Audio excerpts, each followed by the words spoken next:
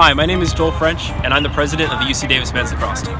For the past couple of years, we've been growing as a program, and this year we're looking to win our conference and compete for a national championship. As a club program, we are largely funded by our player dues. So, we're asking for your donations to help us pay for our coach's salary and the costs of equipment, travel, and referees.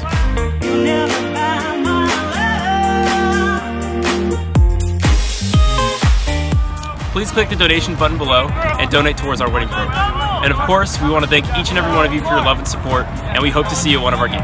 Thank you. Hey, family on me, family on three. One, two, three, family!